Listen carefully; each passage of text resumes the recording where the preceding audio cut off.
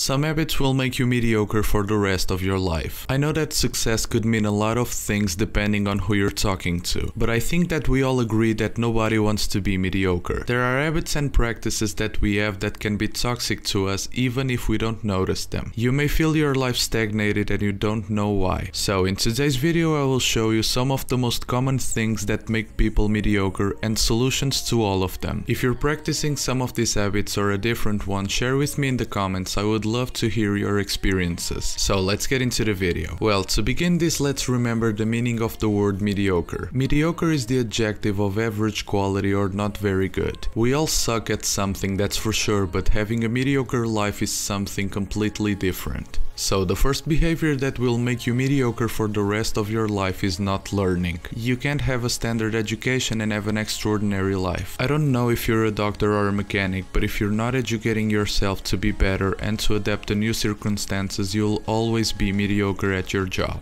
And this doesn't apply only to your job. Think about a relationship with your wife or husband. You can train good relationship practices, reading books about it or having sessions with relationship psychologists. So you can always learn independently of what you want to be better in. I define a mediocre life as being average or not very good at everything. Follow the things that you're good at, the things that everybody asks you for advice and the things that make you forget time, and then get even better at it. If you're a dancer, learn new moves or be better at the ones you already know. If you're a mechanic, learn about new cars and how they work. But please, in whatever you do, be the best you can. Learning and educating yourself is one of the ways for you to stop being mediocre. And I've already said it, but the solution is really simple. Be constantly learning, reading, going to events, listening to podcasts, and applying what you've learned. Secondly, and probably one of the most common ones, you have low standards. Listen, don't measure yourself for your salary right now and don't accept it as your value. You should always be grateful and appreciate what you have, but you should never be satisfied. Seek for that promotion, open a business, and don't accept to be less than being the best you can be. Low standards, once again, aren't only for your professional side. Don't be in a toxic relationship, get away from people that don't support your dreams. Refuse to lower your standards to accommodate those who refuse to raise theirs. Most people measure themselves by the minimum wage, accepting and not striving for anything better than that. The solution isn't simple, but if you're following the first tip, the second one comes naturally. You must believe in yourself and break through your limiting beliefs. You're capable of being and doing whatever you want to. And if you're a constant learner and you apply the knowledge you'll have, it's probably impossible not having results. And consequently, you will see more clearly how to get to your objective. If you're willing to fail, you have nothing to lose by pursuing your goals. Your limiting beliefs will disappear and your confidence will surely be better. Thirdly, and really important too, you're not taking good care of yourself. You're eating bad food, your nights of sleep suck, you're not practicing exercise, you're not reading, and a lot more. Exercise drops your cortisol levels, so you'll be less stressed. Reading decreases your cortisol levels too, increases your vocabulary and comprehension. And about food, there are so many positive aspects of having an healthy diet that I could make a whole video about it. Everyone has different sleeping needs, but the fact is that nobody is at 100% without sleeping. The way you take care of yourself will be reflected in whatever you do. Start eating better food, practice exercise at a progressive intensity, read 10 to 15 minutes every day, respect your schedule to sleep and get rid of all the toxic habits you might have. Don't get me wrong, there's nothing wrong with drinking sometimes, but don't exaggerate. You must take good care of yourself. And last but not least, you're always comparing yourself to others. You're killing your uniqueness doing this. We live in a social media world which has a lot of advantages but a lot of disadvantages too. Often I see people comparing their life with someone's Instagram posts. Firstly, that's a toxic way to live. Secondly, you're comparing the average of your life with their best moments. And that's not a fair or intelligent